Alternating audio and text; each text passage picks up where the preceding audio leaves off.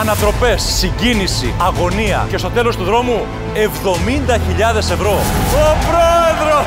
Πάμε, παιδιά! Ποια φανέλα θα βάλεις τώρα για να αγωνιστείς; Μία φανέλα Το αχαιρώτα καναλαγιού. Άνοιξε! Η προσφορά του τραπεζίτη είναι 4.600 ευρώ. Παιχνίδι άχαστο Απίστευτο! Κρατάμε μέσα τις 70.000. με τον Γιώργο Θαναϊλάκη. Σήμερα στις 5 το απόγευμα. Ανοίγω!